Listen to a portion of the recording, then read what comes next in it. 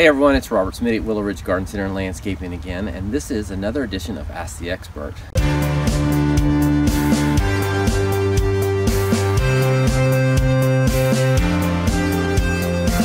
And I want to introduce you today to one of my other favorites in the garden, and that is Stewartia pseudocamellia, and it's often called Japanese Stewartia or false camellia.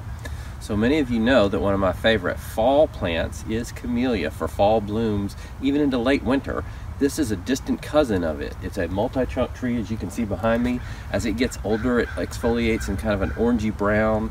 The leaves turn kind of a bronzy color in late winter. Um, and in the summer, about mid to late June, you get these beautiful white blossoms that open up that are very camellia-like. So why are we talking about that in fall? This is November for us, it's late fall. This is the perfect time to be thinking about Stewartia pseudocamellia because you want to plant this in the fall so that it will be well rooted by the spring.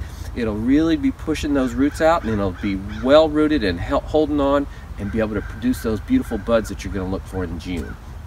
So, Stewartia pseudocamellia, great summer blooming plant that you want to think about in fall if you want to reap the rewards of those beautiful blossoms. Again, this has been another edition of Ask the Expert with Robert Smitty. I hope that you'll join me again on a future edition. Thanks for listening.